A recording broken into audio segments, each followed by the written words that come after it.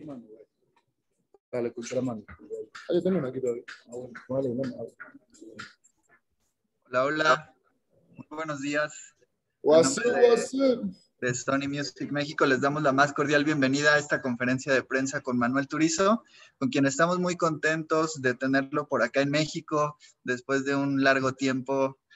Por fin lo tenemos presencialmente en México. Estamos muy contentos, sobre todo porque está estrenando Dopamina, este segundo álbum con varias colaboraciones que le está yendo muy bien. Y bueno, ya por acá están varios medios conectados, Manuel. Entonces me gustaría que antes de comenzar con la serie de preguntas y respuestas, les puedas decir algo a los medios. Claro que sí, bueno, no los veo a los que estén por ahí, pues que no, no los puedo ver. Un saludo a todos, gracias por conectarse. Y nada, soy de ustedes. Todo lo que me quieran preguntar, libro abierto. Ustedes saben cómo es conmigo. Adelante. Ok, bueno, vamos a comenzar con Nicole Trejo del Universal.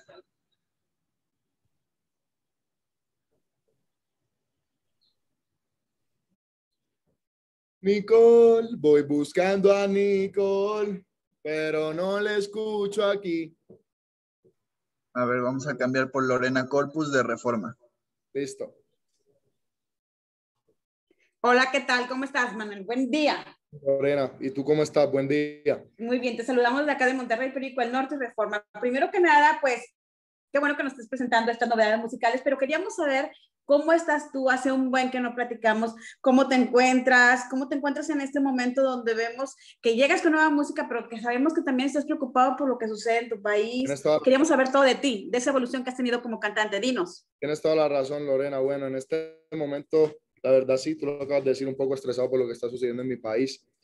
Eh, pero bueno, tenemos que trabajar intentando no pensar en el tema y hablar de mis proyectos y mis cosas, pero sí, la verdad muy estresado, el tema está muy delicado. Yo a todo el mundo de pronto que, que vea esta nota o que la lea, yo le quiero pedir que apoyen a Colombia proclamando paz, proclamando paz. El resentimiento y la violencia no trae nada. ¿Cómo estoy yo desde que hablamos la última vez? Creo que fue hace dos años más o menos. Bien, súper contento, súper feliz. Siento que he aprendido mucho, sí, me siento mucho más seguro. Siento que, como hace dos años seguramente te dije, estoy viviendo mi sueño, pero en este momento me siento mucho más preparado para vivirlo, la verdad. Eh, y motivado, muy motivado, la verdad. Emocionado con este álbum, la verdad, porque por esta cuarentena se me atrasó mucho. Estuve, estuve muy ansioso al principio, yo creo que como todo me estaba volviendo loco por, porque me tocó frenar, me tocó parar, pero, pero finalmente ya lo tenemos. Dios sabe cómo hace las cosas y, y gracias a Dios vamos muy bien. Y yo quiero invitar a la gente que no lo escuchaba a que, a que también lo escuche y se lo disfrute. Espero que les guste mucho. Muchas gracias, Lorena. Continuamos con Raúl Soriano, por favor.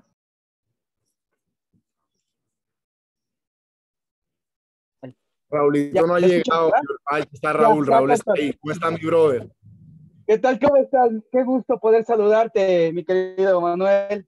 Oye, pues es un, estas can- son 13 canciones Sí. que pues próximamente eh, ya la gente está empezando a escucharlas. Un disco en el cual tú mismo comentas que estás, que lo preparaste con todo, echaste la carne al asador, pero también es el inicio para ti de regresar a las actividades de los conciertos en los. Estados Unidos. Tal cual, hermano, tal cual. Y no solo, sí, sé que me dicen en Estados Unidos porque ya anunciamos las fechas de Estados Unidos, pero la idea es que no es solo sea ahí. La verdad, el show nuevo, la gira nueva, la idea es poderla traer a todos lados. Incluso por ahí ya me he dado cuenta de que en México han hecho par de shows, dos, tres showcitos que me dejaron con picazón en la cabeza. Vamos a ver si pronto les traemos una, les traemos ya fecha estipulada de, de show de dopamina aquí en México. Son 13 canciones, tal cual como tú lo dijiste. Entre ellas son bien diferentes, hermano. Hay colaboraciones completamente diferentes también a lo que de pronto yo había lanzado en mi proyecto. Todos son colaboraciones nuevas con Farru, con Maluma, Wisin y Yandel, Kiles, Mickey, Wheeler. Hay mucha gente en realidad. Digo que son muy diferentes porque metiéndome como que en el viaje de dopamina, intentando ponerle un concepto a todo, cada canción en realidad, la emoción que quería expresar, la historia es muy distinta y también la musicalidad es muy distinta. Ahí hay reggae, hay afrobeat combinado como con champeta, que es un eh, género muy autóctono de mi país. Eh, obviamente urbano, hay un perreíto dancehall también que de pronto un poco más oscuro de lo que solían escuchar de Manuel Turizo. Digamos que una evolución sin perder la esencia, así lo veo yo y pues yo espero que a la gente le guste. La verdad no lo hice esperando como que sonar igual o tener la misma fórmula de ADN, que es donde se resume básicamente mi carrera hasta hace unos meses que empezamos a trabajar con Quiero mientras se puede este segundo álbum. Bueno, el ADN está porque tu hermano colabora también ahí. Total, no, y en dopamina también, mi hermano. Dopamina también, de pronto como que visualmente, externamente ya no lo ven tan al lado mío, pues porque él tiene que, él tiene ya cosas que trabajar y tiene cosas que hacer, no puede estar aquí todo el día porque pierde cosas que tiene que hacer él, pero, pero aquí en dopamina también en realidad. Muchísimas gracias, un abrazote, cuídate. Gracias a ti, hermano, cuídate mucho, Raúl. Muchas gracias, Raúl. Continuamos con Adolfo López del Sol de México. Listo. Adolfo, creo que tiene silencio. Ahora sí. Hola, hola. ¿Cómo estás, Adolfo? ¿Bien o no? Hola, Manuel. Qué, qué gusto saludarte. Yo tengo dos preguntas. La primera, pues, ¿cómo, cómo conocer cómo se modificó el, el, disco a partir de esta cuarentena? No sé si incluiste más canciones o, bueno, en, en cuanto a lírica quizá cambió algo. Y en segunda, pues, también... Sí. Incluí un par, incluí un par. Ya, ya te dejo hacerme la pregunta, qué pena, pero te respondo la primera. Eh, incluí un par, hermano. Mira, Diga, eh, te digo que, por ejemplo, así que me acuerde rápido, rápido. Antes de cuarentena, yo quiero mientras se pueda estaba, la nota estaba, mala costumbre estaba, eh, lo que es también esta canción, Kayak también estaba con Farruko, Cosas Malas con, con Kiles y con, y con Dalex también estaba, el remix también estaba hecho ya. Te digo que nació en, mientras, mientras te la mencioné, que nació en cuarentena. En cuarentena nació Te Falló, nació Antes que te vayas, y bueno, Tiempo fue una canción que nació como entre el momento en donde estaba empezando a ser todo y caliente también, por ejemplo. Entonces, digamos que un 70% ya estaba hecho, un 80-70. Entonces, la cuarentena más bien, digamos que me retrasó todo este tema y fueron dos, tres temitas que, que incluí, por decirlo así, en ese, en ese momento. De acuerdo. Oye, y quería continuar con, con, con, el tema de Colombia, que bueno, es algo que, que está ocurriendo ahorita muy, muy, importante. Algunos artistas como, como Shakira y J Balvin pues han dado su, su posición al respecto. Todo el mundo, pero... todo el mundo, todo el mundo está mencionándose y pronunciándose, hermano. Eh, ¿Qué te puedo decir yo acerca del tema? Pues, es muy complicado porque es que yo entiendo a la gente que esté con resentimiento, con dolor, entiendo la violencia que está sucediendo en el país, pero la verdad yo nunca he sido partidario de que el resentimiento se responde con resentimiento. Totalmente lo contrario, hermano. Y pienso que la violencia que están incitando dentro del país tiene que parar por iniciativa de todos. Nosotros digamos que la gente que tenemos voz en el país no podemos incitar a que el resentimiento continúe. Al revés, tenemos que incitar a que, hey, calma, calma, paz, por lado y lado, por parte de los, la persona, las personas que están vandalizando y por parte de las personas del Estado también que es que hemos vivido la misma historia y el ciclo repetitivo y el círculo vicioso durante más de 60 años, hermano. O sea, es ilógico que de verdad sigamos incitando nosotros que tenemos una voz fuerte a, a resentir a la gente, ¿me entiendes? Eso no se puede hacer. ¿Y cu cuál es la posición que tienen que tomar los, los artistas frente a esta, eh, esta, esta... En mi opinión, en mi opinión. Sí. O sea, porque cada quien tiene una opinión muy distinta y no es que mi opinión sea la acertada es como obviamente me comporto yo y como lo estoy haciendo. Pero proclamar paz, hay que proclamar paz, sí, tenemos que exponer la situación, tenemos que hacer una nube bien grande para que el Estado se dé cuenta de que lo que está sucediendo no está bien y que están cometiendo errores, pero que también el vandalismo se dé cuenta que están cometiendo errores. Si tú sales a manifestar, pero dañaste la Mazda, dañaste el éxito, dañaste Chevrolet, estás quemando hoteles, está rompiendo los medios de, de transporte del país. El 60% de los medios de transporte de Cali se están dañados, hermano. ¿Eso te parece a ti que es una manifestación donde la gente se merece que le respondan, hermano? Eso, con todo el respeto, puede que mis palabras sean duras, pero ahí lo que estás demostrando es que eres igual de malo que esas personas que, a las que les estás pidiendo que sean buenas. Entonces, yo no entiendo eso, sinceramente. Yo entiendo la paz, yo entiendo la conciliación, yo entiendo que si alguien te responde con una cachetada, tú no le puedes dar otra cachetada, porque él te va a responder con una patada y con un balazo. Es la realidad. Muchas gracias, Adolfo. Continuamos con Anaí. Adelante, por favor, Anaí.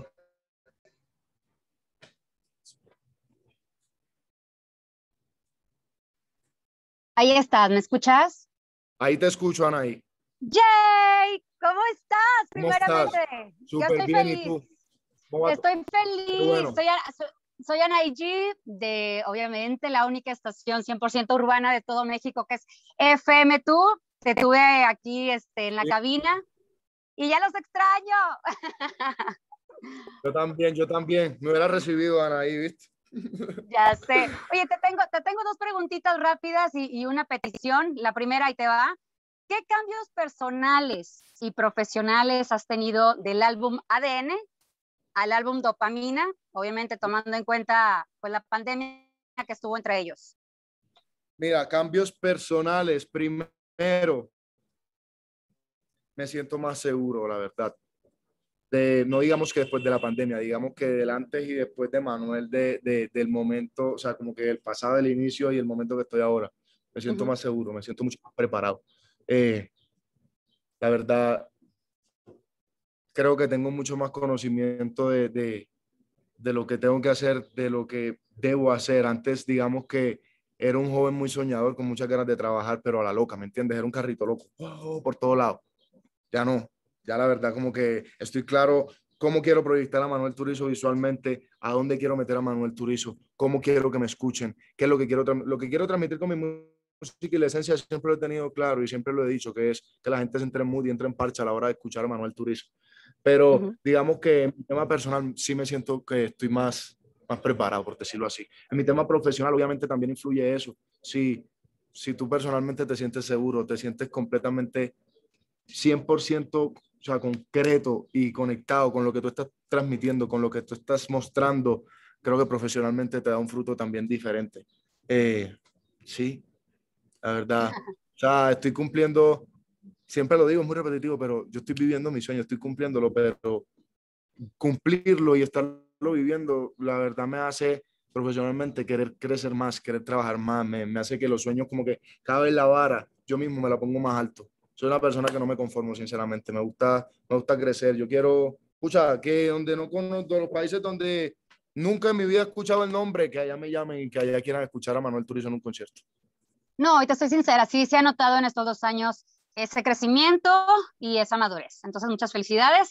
Y la otra, la otra preguntita, digo, obviamente, el tema de, de, tu país es muy fuerte y muy triste. Entonces, ustedes siendo grandes portavoces, influyentes en la juventud, eh, ¿tienen pensado hacer algún movimiento con más artistas, como alguna, alguna vez lo hizo la gente en Puerto Rico? Mira, te voy a explicar qué pasa y es muy complicado, ¿sí? En mi punto personal y creo que digamos que puede tener alguna similitud con todos los artistas. Uh -huh. Es muy complicado cuando tú intentas, como le respondí ahorita, incitar paz y la gente te tira. Yo desde que salió toda esa situación lo que he dicho es, tranquilos, cálmense, paz. Y me han dicho que ojalá me muera y ojalá me se muera mi familia por no incitar a la violencia. Entonces, yo no puedo unirme esa revolución de violencia y no lo voy a hacer, no lo apoyo sinceramente.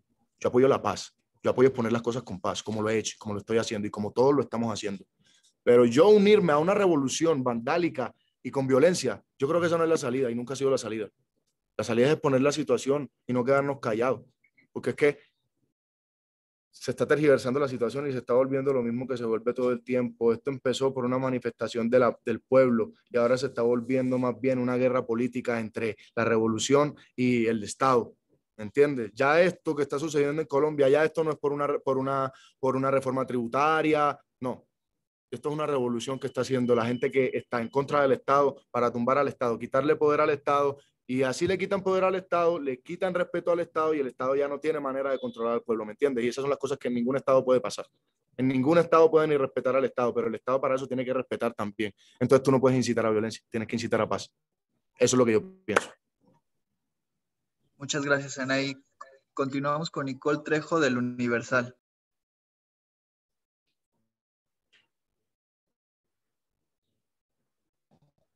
Hola, hola, ¿me escuchan? Escucho perfecto. ¿Cómo estás? Súper, muy bien. Muchas gracias, Manuel. ¿Tú cómo estás? Súper bien, gracias a Dios. Excelente. Nada, pues me da mucho gusto y ya nos hablaste un poquito sobre la evolución musical que tuviste para eh, con este nuevo álbum, pero también me parece que en lo sentimental eres, has sido como un referente de, de mantener una relación fuerte, pues eh, con sí. Jocelyn Eh, no sé si me puedes contar un poquito sobre cómo fue su relación durante la pandemia, si le darías algún consejo a, a los, a tus seguidores eh, que han tenido ah. justo como que afrontar esta época difícil. Sí, hay mucha gente que las relaciones se le dañaron, no se entendieron y todo, yo, pero la verdad, personalmente, pues yo soy una persona muy, digamos que, conservadora con mi gente y, y, y al revés, yo creo que a mí la cuarentena me unió hasta más y todo con, con, mi, con mi pareja, con Joselina. Yo estoy súper bien. O sea, yo llevo bastantes años, la verdad, de relación. Al principio lo tenía como calladito, yo no decía nada. Me preguntaban y yo decía hasta que no tenía novia, pero era más como, digamos, por... Ella no decidió estar expuesta a, a la luz pública, fui yo el que lo decidí. Pero ya, ya le toca. Si quieres ser novia mía, que acepte lo malo y que acepte lo bueno, eso no importa. Pero, pero la verdad, yo estoy súper bien, súper contento allá la tengo conmigo, allá la tengo conmigo en Miami. Claro. Y en cuestión justo de las letras de tus canciones, muchas pues hablan de amor, pero otras eh, también hacen referencia a otros temas. ¿Has tenido consideraciones por cuestiones sociales para, para con tus letras? Con Quiéreme mientras se pueda, la verdad, ella no nació por un tema social, pero sí la lancé esperando darle un mensaje a, a la sociedad que escucha Manuel Turizo. Eh, especialmente esa en realidad. Para dar mensajes sociales fue esa. Quiereme mientras se pueda, te puedo decir que es la única por decir lo que es así. O sea, yo quería, yo lancé esa canción en el momento que la lancé y yo no estaba lanzando. Yo el año pasado no lancé casi música, si te das cuenta. Lancé tres canciones y ya. Y las dos últimas fueron al final. La única fue Quiéreme y fue por el justamente mensaje de que hay mucha gente perdió familia, perdió casa, perdió negocios, etcétera, mil cosas. Y, la canción yo siento que tiene un mensaje muy poderoso en realidad, como que ponernos a pensar en, en no lo malo, sino recordar los recuerdos bonitos que tenemos. A mí me causaba eso y lo, como que era lo que quería transmitir a la gente también, por eso como que el video, todo, mira que el video también es un mensaje totalmente social, ¿sí me entiendes? Y con respecto a mis letras, de pronto si, de, si están involucradas a historias mías, obvio, no todas, pero sí, claro, muchas. O sea, yo creo que nosotros los compositores nos inspiramos de historias de amigos, de historias de la calle, de la televisión, de las películas, de, la, de, la, de los libros, de lo que vivimos, de nuestros sentimientos, o sea, de todo, todo. sea, nos retroalimentamos en realidad, por lo personal me retroalimento de, la historia que tú puedes vivir, que Iván puede vivir, que cualquiera puede vivir, ¿sí me entiendes? O sea, que tú la puedas sentir tuya de verdad.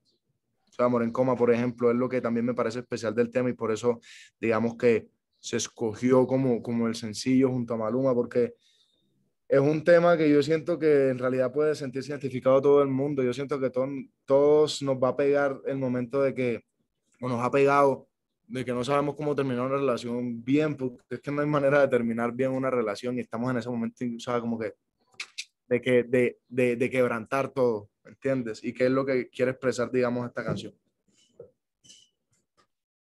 Excelente, muchas gracias. Gracias a ti, Nicole. Muchas gracias, Nicole. Continuamos con Ana Sea de Multimedios.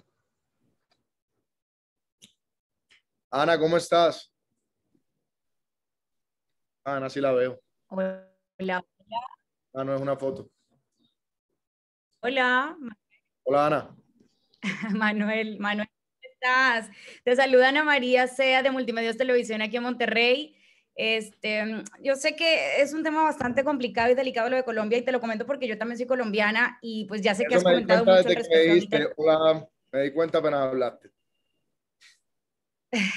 ya sé. Y bueno, sabemos es un tema muy sensible para nosotros, los colombianos que actualmente vivimos en el extranjero. Tú, yo sé que estás viviendo ahí en Miami, pero eh, me gustaría saber un poquito acerca de tu familia que está en Montería, o sea, de qué manera les afectó y les está afectando esta situación? Te lo pregunto porque sé que... ¿Cómo les está afectando la situación? Que cada vez, por toda esta revolución que está sucediendo, eh,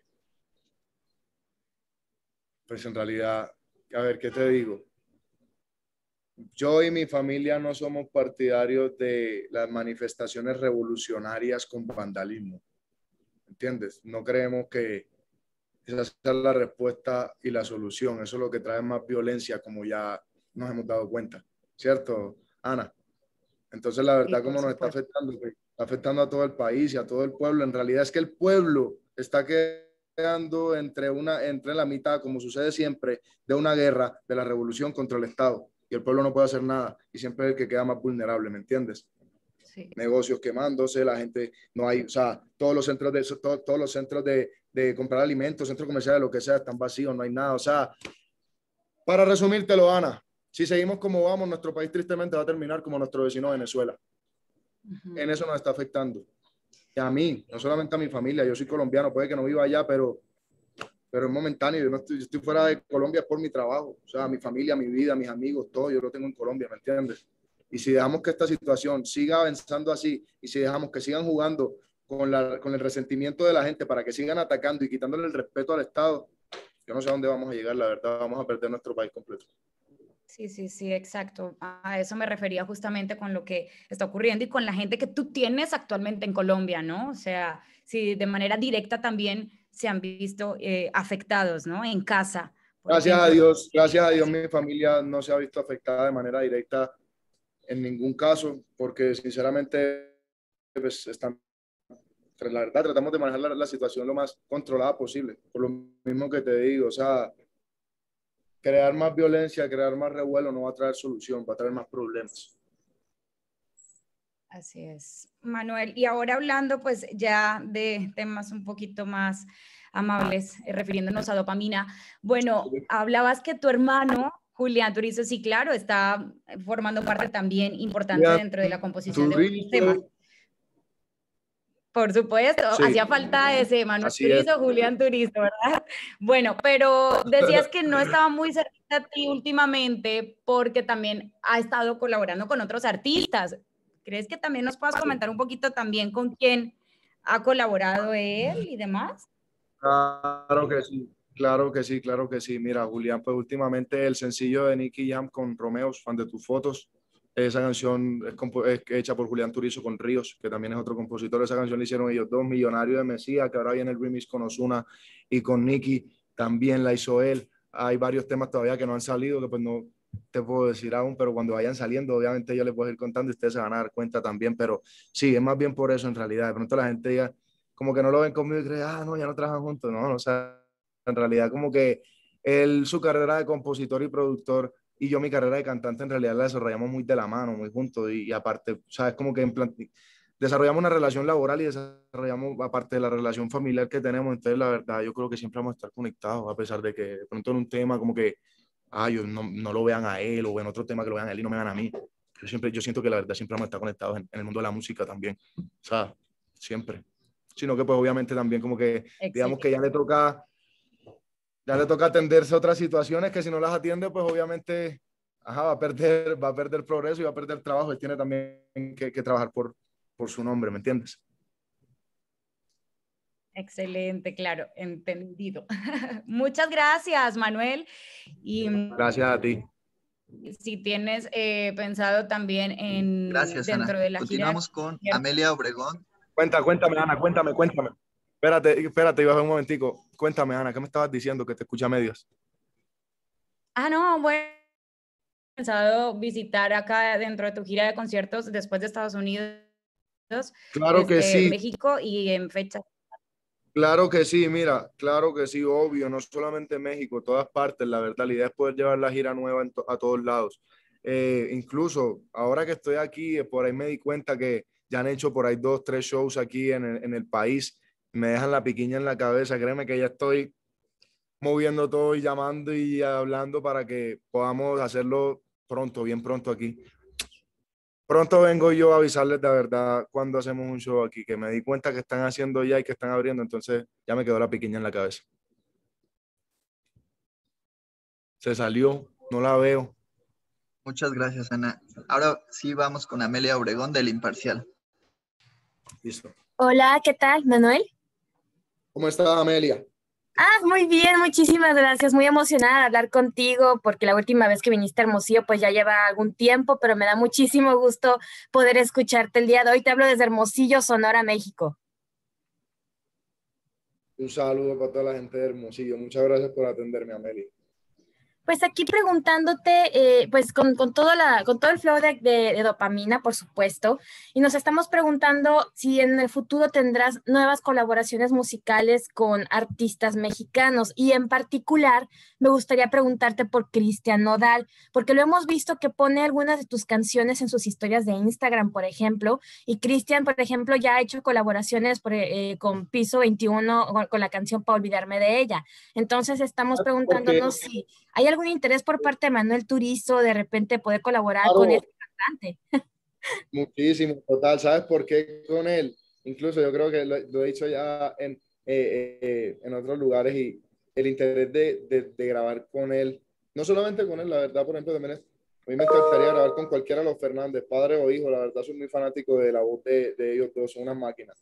Y con Nodal también me gusta mucho eso, yo siento que en México ustedes tienen voces muy poderosas y Nodal siento que es el joven que digamos que va llevando la bandera en eso. O sea, es mi favorito, a mi gusto personal, con todo respeto a los otros.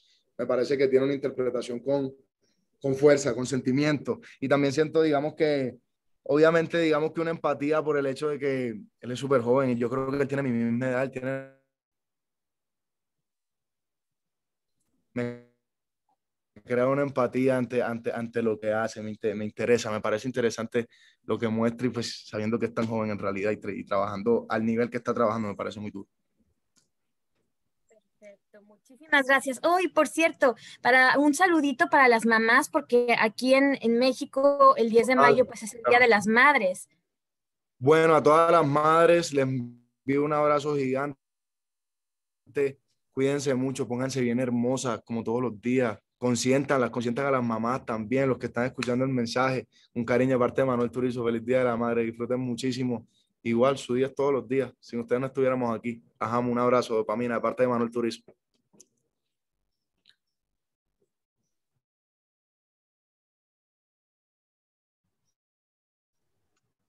Muchas gracias, Amelia, y entretenimiento.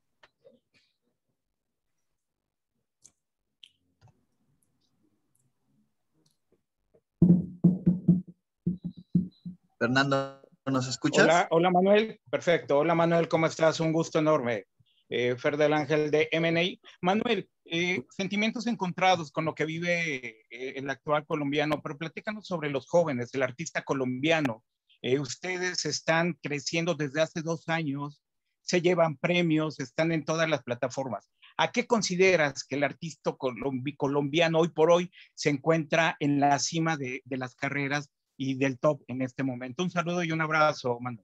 Igualmente, Fernando, un abrazo y un saludo bien grande. Gracias por recibirme.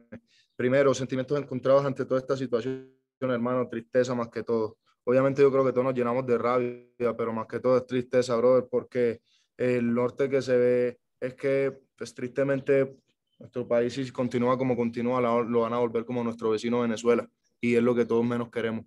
Entonces, mucha tristeza hablándote, háblame acerca de lo otro que me pregunto, ok, de los artistas colombianos, ¿por qué creo que en este momento están teniendo tanto auge, hermano? Por el trabajo, por el trabajo, Fernando. Eh, nosotros hemos venido aprendiendo de las personas que vinieron antes de nosotros, de, digamos que, del movimiento del género. Y en general, yo creo que los colombianos tenemos una cualidad de ser muy trabajadores, todos los colombianos. O sea, tú donde veas un colombiano, tú vas a ver un camellador, sea en el, en el, en el, en el ámbito que trabaje que sea somos camelladores, nos gusta. Entonces yo creo que eso influye mucho también, la verdad. O sea, cada quien tiene sus cualidades y sus dones y sus talentos completamente distintos, sí, que hacen un complemento, pero hermano, todo se basa en la disciplina. Todo se basa en la disciplina. Si vamos a ver un Balvin es una persona que lleva más de 15 años, creo yo, eh, entablando una carrera. Si te das cuenta, fueron muchos años antes de que él tuviera éxito y no se quitó nunca. Entonces eso que te demuestra disciplina. Maluma, por ejemplo, también que te demuestra una disciplina increíble, es un muchacho muy trabajador, la verdad. ya Yatra, lo mismo. Y yo, pues obviamente que vengo también en el camino ahí, creciendo hace cuatro años y trabajando por llevar mi música cada vez más lejos. Hermano, yo soy motivado todos los días y me levanto con la misma gana y así me toque repetir lo mismo 100 veces y así me toque, así no tenga ganas, así esté cansado. Hermano, eso es disciplina, hacerlo, hacerlo, trabajar y seguir adelante.